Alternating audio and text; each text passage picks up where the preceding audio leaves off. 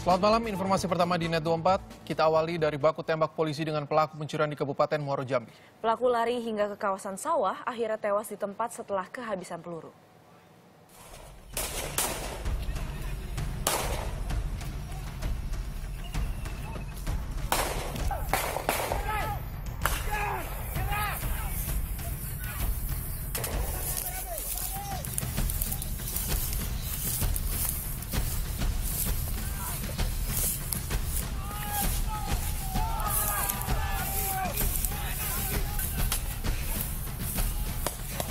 Inilah detik-detik baku tembak anggota Direktorat Reserse Kriminal Umum Polda Jambi dengan Madan Saifuddin Harahap pelaku pencurian di Kabupaten Muaro Jambi.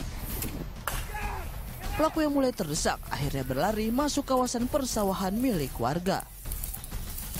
Pelaku yang sudah terkepung akhirnya tewas setelah kehabisan peluru namun tak mau menyerah.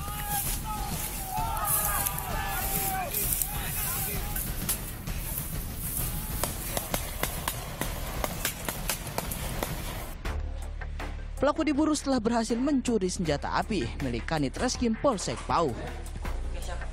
Pelaku yang merupakan residivis ini berpura-pura membuat laporan ke Mapolsek Pau di Kabupaten Soralangun, Jambi.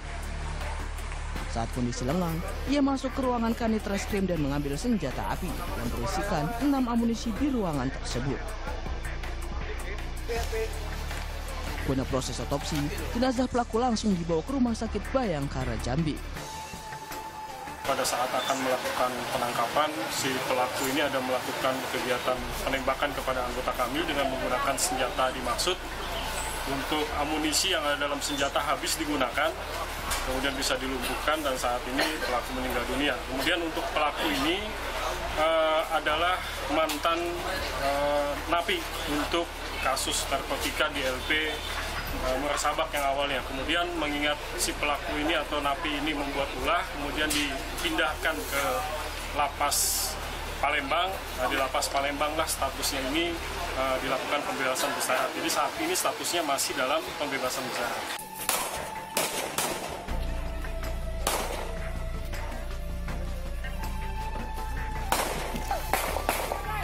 Atas kejadian ini jajaran kepolisian daerah Jambi langsung dihimbau agar tidak lengah, terutama bagi personil yang memegang senjata api.